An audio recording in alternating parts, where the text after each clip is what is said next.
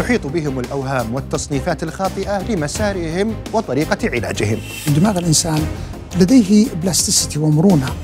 مع مدير مركز أبحاث التوحد في مستشفى الملك فيصل التخصصي الدكتور هشام الضلعان. أرى دوري هو الاعتماد بالأساس على تدريب الأسر. كيف أعرف الأخصائي؟ كيف أنا أعيد تقييم الطفل؟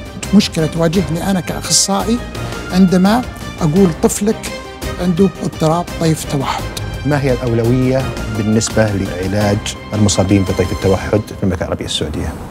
بالمختصر الليلة الثامنة بتوقيت السعودية على ال MBC 1